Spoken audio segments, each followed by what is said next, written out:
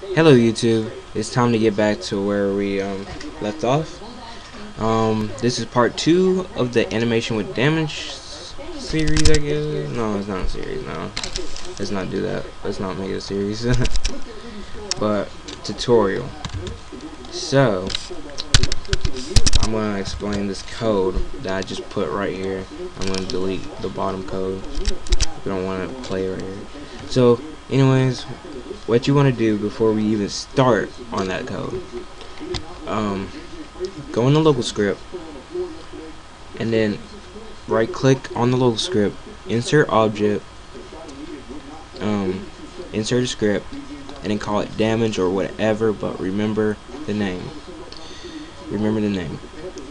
Scripting is cast, case sensitive, which means like if this is damage like this, but on the script you put damage with a lowercase d, it's gonna have an error.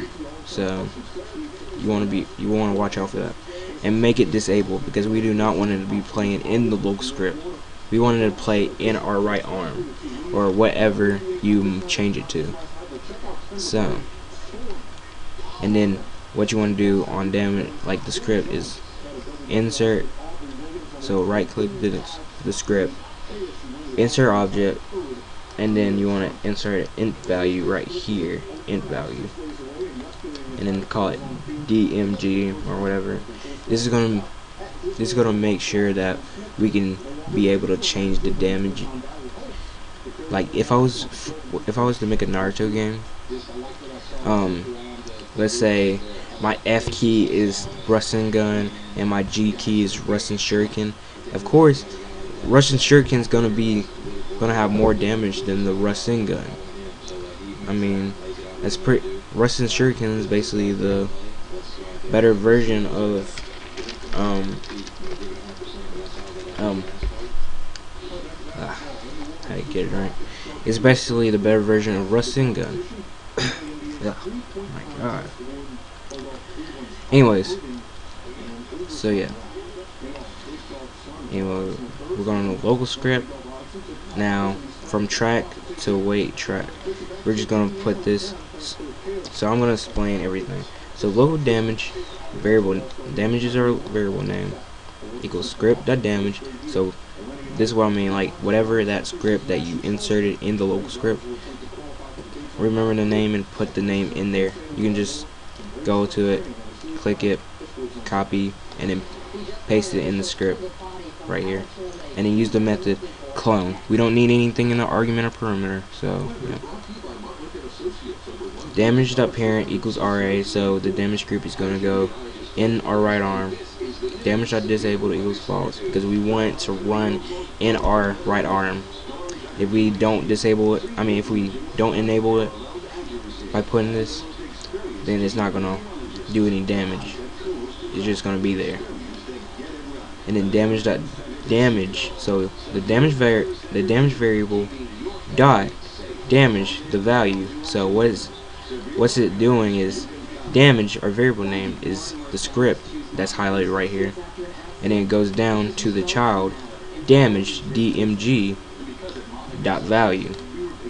And then we're changing the value to from zero or whatever it is into and this is what this is the good thing you can either do this math.random 515 what this just means is math.random min to max it's just it's going to choose between these the min and the max. It can even be the min or the max but it's just choosing it's a random number that it chooses. Because we don't want maybe we don't want the combat script to have the same amount of damage like five each time.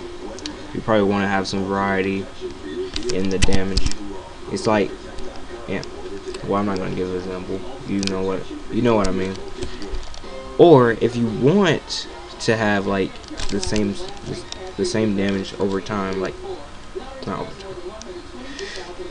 Let me start if you want a certain amount of damage every time you do it then erase that and then say equal like any number like 5 10 25 or even we can go for one punch man a thousand.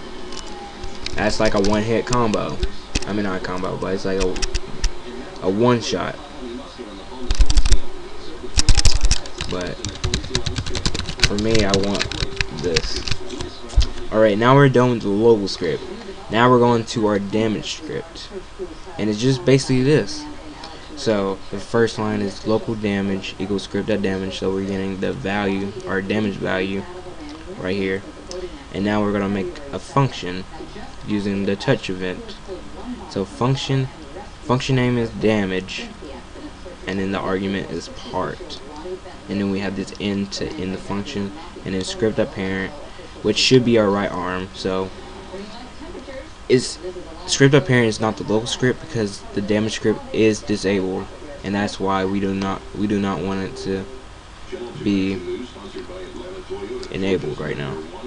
Because if we have it enabled and then we give it to the right arm it's not gonna I'm gonna have to enable it and I mean I'm gonna need to disable it and then enable it since it's already enabled for it to really work to assign the script parent to right arm. I hope you understand what I was talking about, but yeah. So script parent and then the event touched, the basic um, event. And then we use a connect method. Damn. And then we use commit.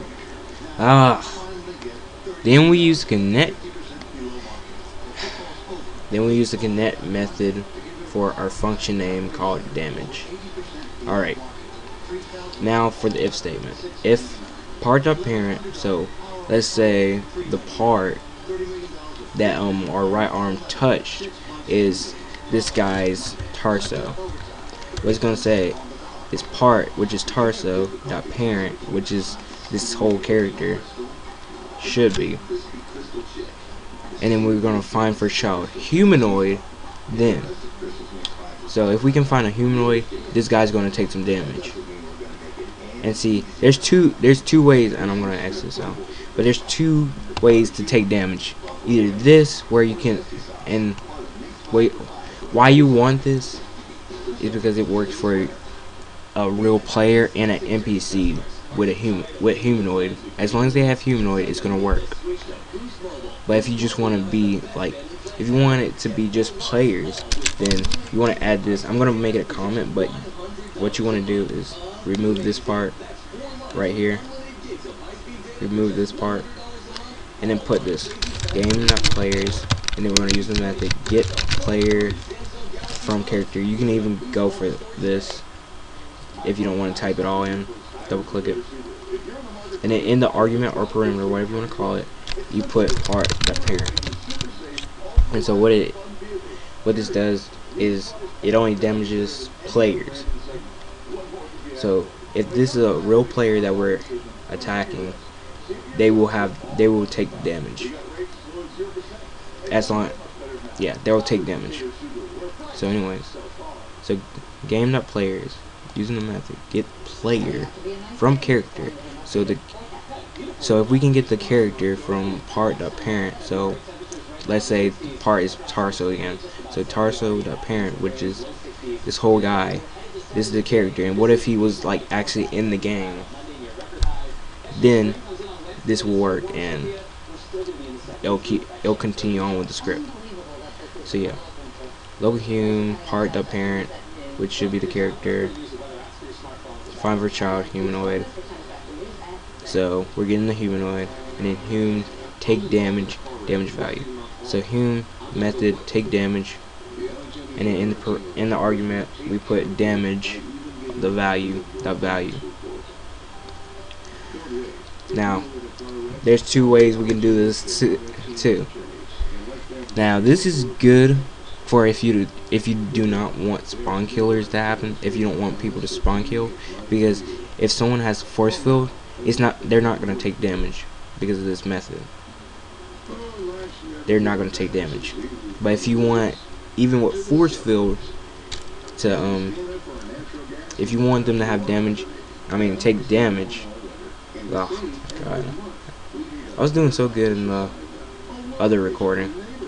But anyways, But if you do want them to take damage with the force field, then what you want to do is say hum.health. So humanoid.health equals hum.health take away damage of value. So what this is is the hum.health is is hum.health which is is right now. So like let's say your full health 100. So it's so this just means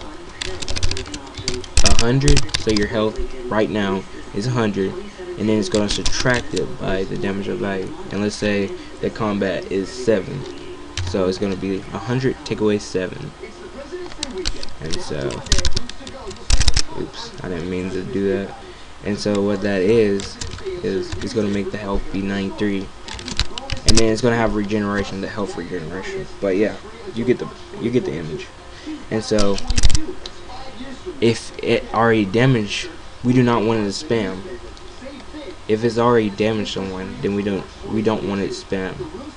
So then what we do is script destroy. We're just going to destroy the script. It's there's not going to be error for game.debris. Like it's either going to add the item or if the item's not if the item is nil, it's not existent, then it's just going to let it go. No errors and that's why we use that instead of just deleting the damage script just destroying it using the destroy, destroy method so yeah I hope that didn't confuse you too much and I'm going to show you how it works um, let me make sure okay so we'll hurt this NPC so I'm going to show you that it does work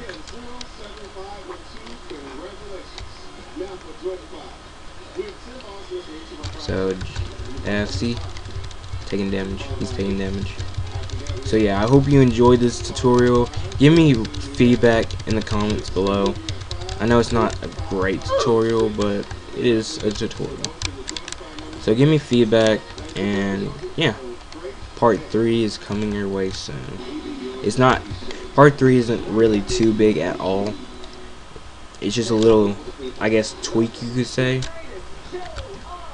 It's just a little, little, little tweak. And it's just pref preference. But, yeah. Hope you enjoyed. Bye.